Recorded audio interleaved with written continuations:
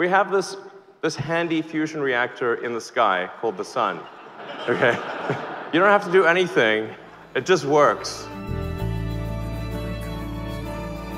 You are watching Cold Fusion TV. Hi, welcome to another Cold Fusion video. Dagogo here. A couple of weeks ago, I talked about Costa Rica running entirely off renewable energy, a feat that does spell some hope for our current climate situation. In the video, I discussed how Costa Rica managed to achieve this through geothermal and hydroelectric power. But this setup isn't ideal for every country on the planet. So what about a new approach? A game-changing method for clean energy for the entire world. Elon Musk and his company Tesla plans to provide the solution. His company's home battery technology is causing a lot of hype after all. For Tesla, their electric car was just the starting point to change the way the world uses and stores power. If you think about the, you know, the internet revolution that happened in the 1990s, this is another revolution that's happening in energy. So whereas in the 90s we spread, you know, information to the entire world, now we're, sp we're spreading clean energy to the entire world. A couple of days ago, in a press conference filled with an atmosphere of excitement reminiscent of a late 2000 Steve Jobs keynote, Elon Musk revealed a brand new branch for his Tesla company Tesla Energy, and its first product, the Powerwall. So, uh, what I'm going to talk about tonight is about a fundamental transformation of how the world works. Basically, the Powerwall is a polished plug-and-play battery system that takes energy from the sun or the grid during the day, stores it, and uses it during peak times in the evening. It costs between $3,000 and $3,500, and as the name suggests, it's small enough to hang up on a wall.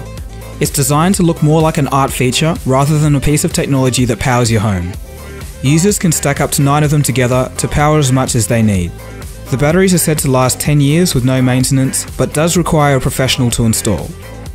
Elon states that his company's technology will change the world, and I can somewhat agree with this, with solar efficiency getting up to 40% and costs falling thanks to China's manufacturing output, cheaper green energy could become a reality. Using the United States as an example, Elon states that with the aid of his battery technology, we would need solar panels the size of the land area shown here to rid the entire United States of fossil fuels. And most of that, most of that area is going to be in rooftops. So it's, it's, you, you won't need to disturb land, you won't need to find new, new areas. The obvious problem with solar power today is that it's very primitive, in the sense that it's direct usage, and once the sun goes away, it's game over. This is where the Tesla Powerwall wants to make its hallmark on history. The battery will smooth out solar energy generation and store it for peak time use at night, where most of the energy is used. According to Elon, it would now be possible to completely go off the grid if you already have solar panels. So that's all very encouraging, but there's something missing. What if you don't have solar panels? Well, as it turns out, you can still save money on energy costs. You can just simply store the energy from the grid during the day when it's cheaper, and then use it at night when the rate is lower. It kind of makes sense either way, but as we'll soon see in this video, it's not actually the full story. So of course, energy storage from solar panels has been done before, but not really implemented properly. Usually it's about 3 times more expensive, doesn't last nearly as long, looks terrible, and does require some effort to get it up and running. You know, you need to combine multiple systems. There's not one integrated uh, place you can go and buy a battery that just works. Here's one way to think about it. It's much the same scenario as the electric car before Tesla or the smartphone before the iPhone with its capacitive multi-touch screen and a capable OS that was scaled down from the Mac.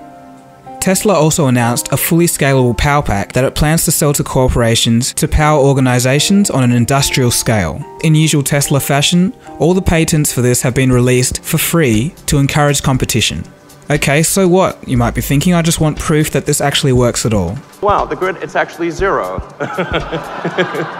this entire night has been powered by batteries. Of Not only that, the batteries were charged by the solar panels on the roof of this building. So this entire night, everything you're experiencing is stored sunlight. This kind of sounds too good to be true.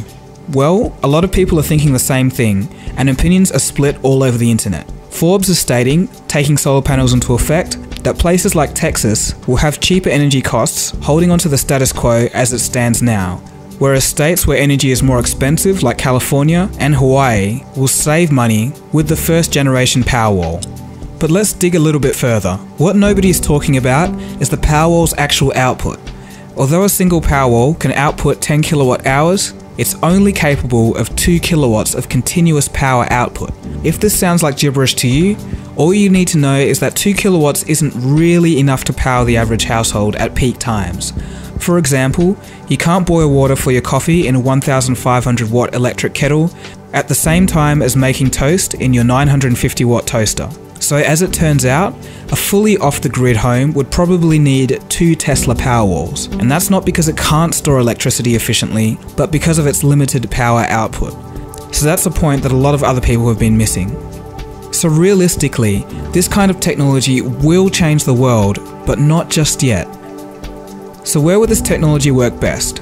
Well, the places that will benefit the most are remote areas or villages where power is limited or unreliable, areas where energy is expensive, and places with lots of sunlight and an already established solar panel user base, places like Australia, where I live. So, in conclusion, although this technology and this approach is absolutely amazing, this is just a first generation product. This is the very worst it can be. It's just the start.